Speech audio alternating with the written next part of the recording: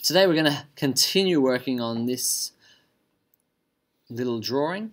And what we're going to do is um, we've done the ground floor walls, we've added some doors and windows into those. And now we're going to draw this first floor. Now on a sketch that you might have, you might have drawn all of the plans together. We want to try to make sure that when we're working in ArchiCAD, we don't get into the habit of doing it like we would in AutoCAD where we draw plans beside each other. Instead, we want to draw them on top of each other where they should be. So if we go down to where this original reference was, down on the AHD story, I'm going to copy this and at the moment, I'm just going to use the terrain story. It doesn't matter that it's the wrong story at the moment. And I'm going to move this. So I'm moving the position of this story over, so it's sitting over the top of the other one. So I'm going to find a common point, drag, I'll use the bottom right hand side in this instance, click, click, now, if this was a, a perfect sketch or if this was a um, an architectural drawing, then that would be, which was a, a vector drawing, uh, then I'd be more precise. It's not really going to be precise because I know it's already not to scale and there's lots of issues with it. But what that means is that when I go to the ground floor, I'm still currently viewing my trace reference of the bottom story, but now if I want to copy this up, I'm going to take some of this information, so I'll select the walls, those particularly those four external walls that we had around the outside. I'm going to copy those, Command C, go up to first floor by double clicking and then paste those. In this case, I'll, I'll just do right click paste. Now those windows aren't correct anymore, so I'm going to select my window tool, press Command or Control A and delete to get rid of those. Press escape to go back to my arrow. Uh, select both of those two walls. Now I'm going to intersect these. Now that I'm going to have a bit of an issue with intersecting these. When I try, look what's going to happen. It's going to intersect the wrong way. I mentioned this briefly last time, just to say that the ArchiCAD doesn't necessarily know what we're doing. It's guessing. So what it was trying to do is intersect the two longest lengths. So we needed to just reduce that, and then it would intersect a lot easier. So this is what I'm left with, but again, my plan is over here. How do I fix that? I need to now link my new reference. So instead of having the AHD as my reference, I'm going to right click on the terrain, show as trace reference, and we can see now that that plan is going to shift across because I copied that reference, pasted on a different story, and moved it into another position. Now I could have just used this option here drag reference. The reason I didn't do that in this case is because I didn't actually want to move the original reference. I wanted to keep two references. And that means that when I go down to ground floor, I can right click on AHD, show as trace reference. When I go up to first floor, I can right click on terrain and show as trace reference. So just easily I can toggle between those two without having any issues about what it's seeing. Now I need to draw in my internal walls if in doubt, what I can always do is, again, copy some from below. So I can select one of those, copy, up onto first floor, paste.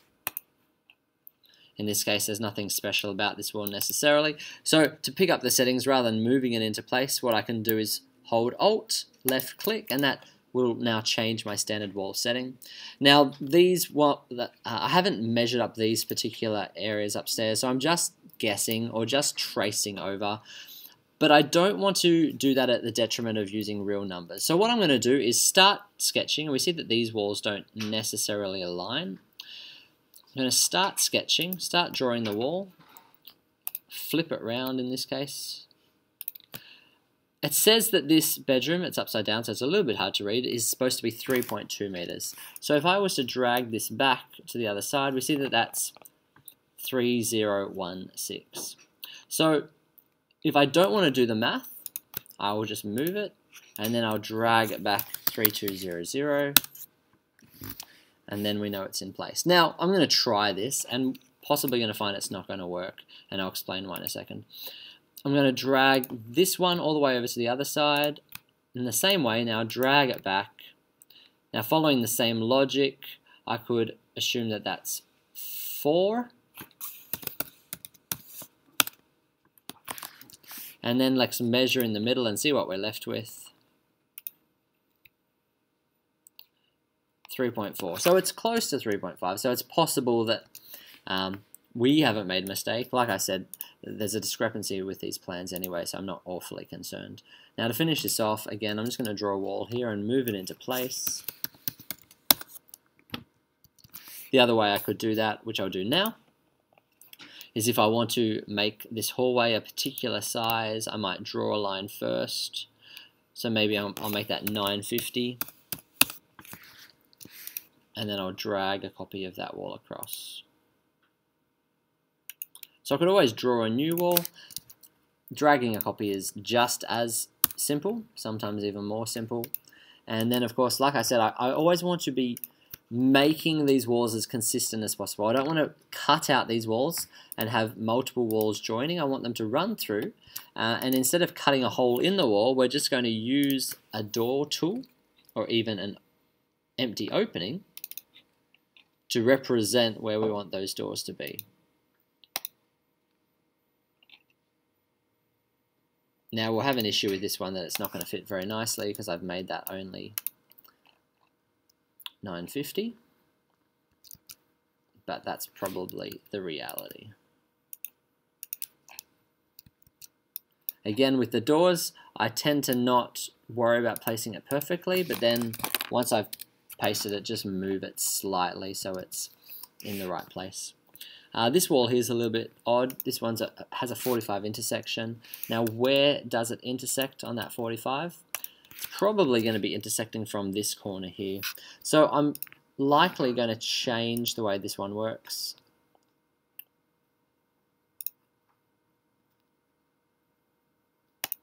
Just extend that through.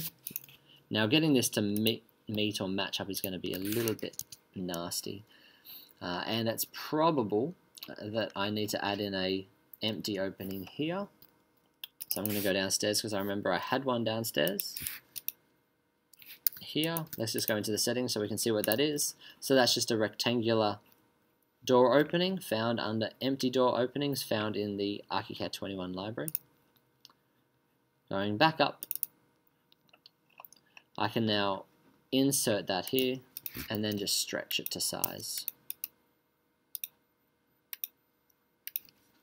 And the reason why I'm using an empty door opening rather than just cutting a hole in that wall is because I don't want that hole to run all the way up.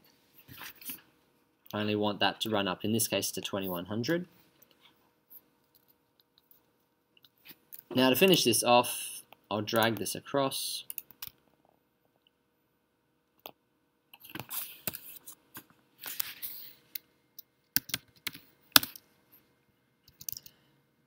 delete that. I don't want that anymore. We see that these walls aren't actually aligned. So I'm going to split this one.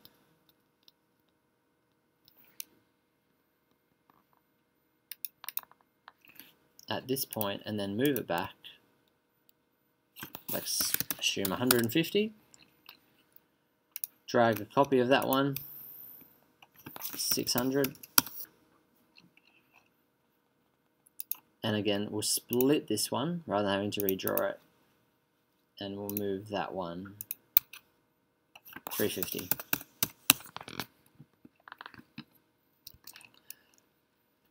just a few more things we need to do. We need to split this one here. So we'll in this case use trim. So I'm going to trim this wall back to the last intersection so it's going to trim it there. Now it commonly happens depending on the way this works. I've been a little bit lazy with my reference line, so I might need to flip these around to make a bit more sense of it. I have a reference line here on the inside, then it goes to the outside, then it's outside. So if I select both of these and press intersect, we see it's going to join up nicely.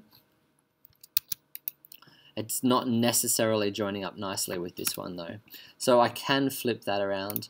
The reality is that these walls are going to be maintained like this and they're not going to need more detail so it's not essential in this case that I do that. Let's just continue this one through. Cut that out. And then depending on how detailed I'm wanting to be, I could draw a wall and then put a door in for the robe. What I tend to do is not that but rather just to represent the robe with a slab.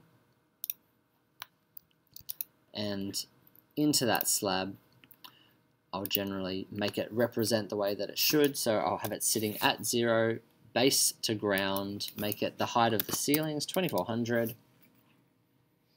and give it a cover fill of empty fill with a background of white I can make the foreground white as well, it doesn't really matter. And that's just going to cover over what's underneath. But that's about as much detail as I need. Now, if the robe had a wall, um, I would draw a wall in, uh, but these robes, I believe, are just a piece of joinery, so it's not something that I need to do.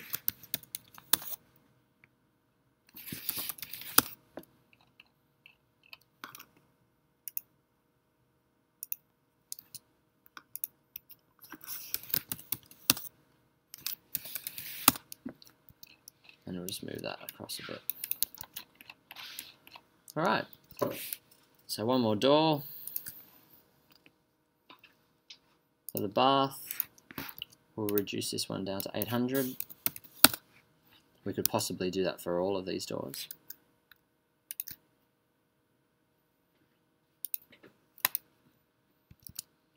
Oh, what did I just do? 8,000. That's fine. And then downstairs, I don't know that I've done one yet. Yep, at the front door I did a double door. I'll just use that one, just rather than having to search for it again, just to do the, the linen door. Now I can choose to reduce the opening angle to represent it like we see it here. So I can change that to 30 just to get that look. Doesn't really affect the way the door works. So now we've got our, turn the trace off, now we've got our first floor and our ground floor. And for a concept design or even for a DA drawing, just representing the walls as a solid black surface.